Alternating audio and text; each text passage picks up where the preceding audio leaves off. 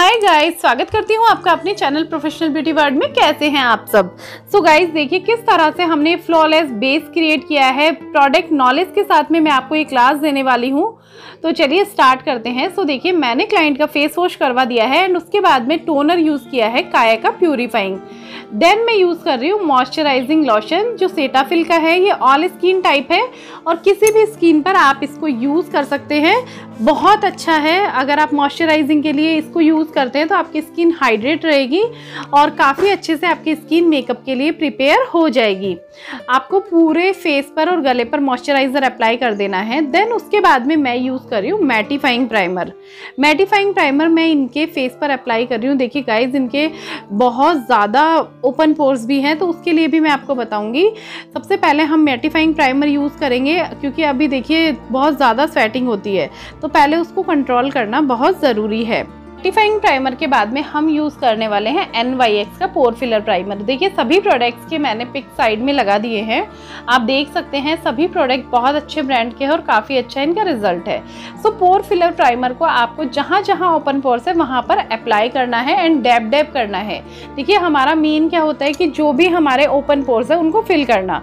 तो आपको बहुत ही लाइट हैंड से डैप डैप करना है या फिर सर्कुलर मोशन में आपको लगाना है। वो बिल्कुल एक अलग से वीडियो बना दूँगी, बिल्कुल जो तरीका होता है प्रॉपर तो आपको बहुत अच्छे से समझ में आ जाएगा। ओके तो जहाँ जहाँ इनके ओपन पोर्स है, वहाँ पर मैंने ये वाला प्राइमर अप्लाई कर दिया है। देन जब भी आप प्राइमर अप्लाई करते हैं ना तो थोड़ी देर आपको उसको सेट होने के लिए छोड़ना है। मैंने हर स्टेप के बीच में टाइम दिया है तो आपको भी हर एक स्टेप के बीच में टाइम देना है। आईब्रो फिलिंग करने के बाद में, जो भी इनके प्रॉब्लम्स है, देखिए, इनके छोटे छोटे बारीक बारीक से ना स्पॉट है पूरे फेस पर।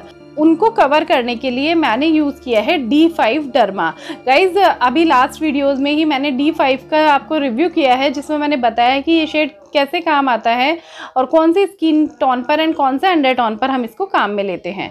ओके तो जहाँ जहाँ प्रॉब्लम थी, वहाँ पर मैंने शेड अप्लाई किया है एंड उसको अच्छे से ब्लेंड कर दिया है। इसको ब्लेंड करने के बाद में फाउंडेशन मैं यूज़ कर रही हूँ सुपर स्टे का तो जो ये सुपर स्टे का शेड है three ten sun beige okay ये वाला शेड इनके स्किन टोन के लिए परफेक्ट है। मुझे और कोई शेड मिक्स करने की ज़रूरत नहीं पड़ी है। एंड इसको ऑल ओवर फेस पर हमें अप्लाई कर देना है। आप ब्यूटी ब्लेंडर की हेल्प से भी कर सकते हैं एंड ब्रश की हेल्प से भी कर सकते हैं। ये फ्लैट हमारा फाउंडेशन ब्रश होता है, जिसके सिंथेटिक ब्रशल्स होते हैं। अप्लाई करने के लिए आप ये वाला ब्रश यूज़ करेंगे। एंड अगर आप ब्यूटी ब्लेंडर से यूज़ करना चाहते हैं तो वो भी यूज़ कर सकते हैं। ओके पूरे फेस पर आपको इसको इस तरह से डैबिंग मोशन में अप्लाई कर देना है। आपको हर एक एरिया जो सामने विजिबल होता है, उसको कवर करना है। हम इवन हमें ईयर्स पर भी अप्लाई करना होता है, हमारी नेक पर भी अप्लाई करना होता है। जो जो एरिया ओपन है सामने उसको हमें पूरे को कवर करना रहता है। उसके बाद में जहाँ हमने आईब्रोज फिल की थी, वहाँ आपको थोड़ा ध्यान से अप्लाई करना है प्रॉपर शेप को फॉलो करते हुए। और जो भी हमारे हेयर लाइन पर हेयर्स हैं, वहाँ से आपको थोड़ी दूरी बनाकर अप्लाई करना है और देन ब्लेंड करते हुए आप इसको ऊपर की तरफ़ लेकर जाएँगे। आपके हेयर्स में फाउंडेशन फिल नहीं होना चाहिए ओके तो देखिए, पूरे फेस पर और नेक पर मैंने इसको अप्लाई कर दिया है। एंड इसके बाद में आपको बहुत ही लाइट हैंड से ब्यूटी ब्लेंडर से इसको ब्लेंड कर देना है। ब्यूटी ब्लेंडर आपको बिल्कुल, आपको पानी में थोड़े टाइम पहले डिप कर देना है एंड उसको बिल्कुल अच्छे से निचोड़ कर टिश्यू में आपको उसको, अच्छे से आपको टिश्यू में निचोड़ना है एंड उसके बाद में आपको धीरे धीरे बहुत ही लाइट हैंड से डैबिंग मोशन में आपको ब्लेंड करना है।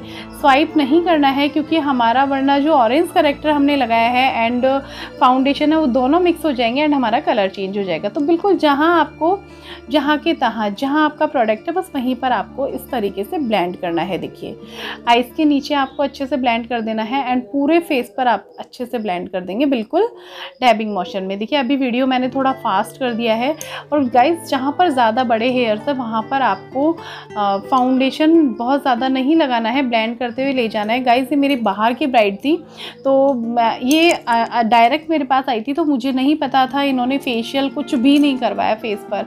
इनके टैनिंग भी थी फेस पर और सब कुछ और इन्होंने हेयर्स भी निकालने के लिए मना कर दिया। तो जैसे थी मुझे वैसे ही इन पर मेकअप करना पड़ा बट फिर भी आप देखिए बहुत ही फ्लॉलेस मेकअप हुआ है। सो so, आपको पूरे फेस पर अच्छे से ब्लेंड कर देना है। अभी आप देख सकते हैं इनके हेयर्स नीचे की तरफ़ इनका डायरेक्शन है लेकिन फिर भी कहीं भी फाउंडेशन उनमें फिल नहीं हुआ है। सो so, आपको बहुत ध्यान से अप्लाई करना है ब्लेंड करना है।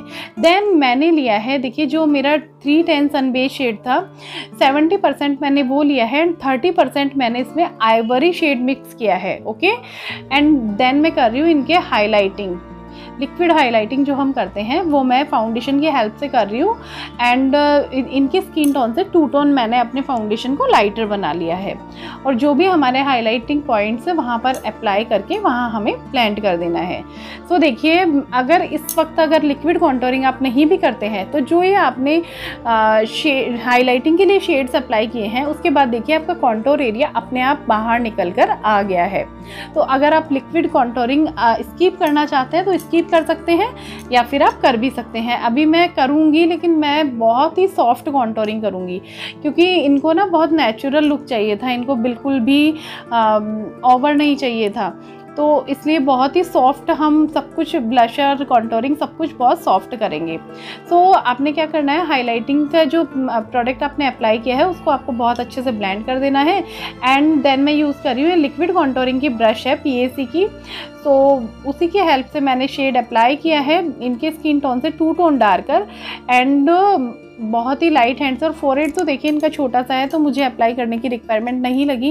एंड माथा पट्टी हम लगाएँगे तो मैंने वो वाला एरिया स्कीप कर दिया है।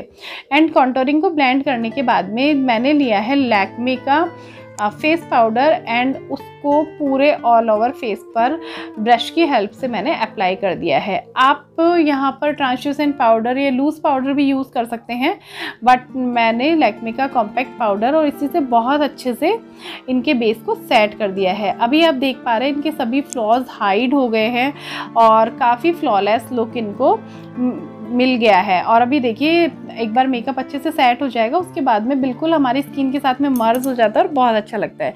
देन मैं यूज़ कर रही हूँ एन का मैट फिनिश स्प्रे और इसको करके आपको थोड़ा सूखने देना है इसके बाद में आपको फेस पर टच नहीं करना है। देन मैं कर रही हूँ पाउडर कॉन्टोरिंग जो कि बहुत ही लाइट बहुत ही लाइट सी हमें करनी है। सो so, जो भी हमारे कॉन्टोरिंग जहाँ मैंने आपको पढ़ाया हुआ भी है कि कहाँ कहाँ हम फेस के अकॉर्डिंग फेस शेप के अकॉर्डिंग कॉन्टोरिंग करते हैं। जैसे कि इनके मुझे फोरहेड पर रिक्वायरमेंट नहीं थी तो मैंने फोरहेड पर नहीं किया। सो so, कॉन्टोरिंग करके आपको इसको ब्लेंड कर देना है इसी ब्रश से। तो ये वाली कॉन्टोरिंग ब्रश है जो कि थोड़ी सी एंगल इसका निकला हुआ आता है तो वही हम यूज़ करते हैं। देन ब्लशर ब्रश में यूज़ कर रही हूँ और ब्लशर मैंने पिंक शेड लिया है, थोड़ा पिंक एंड कॉरल को मिक्स करते हुए इनके ब्लशर अप्लाई किया है, जो कि बहुत ही सॉफ्ट रखेंगे, बहुत नेचुरल रखेंगे। हम बिल्कुल भी इसको पॉप आउट नहीं करेंगे कोई बिल्कुल हाईलाइट नहीं करेंगे।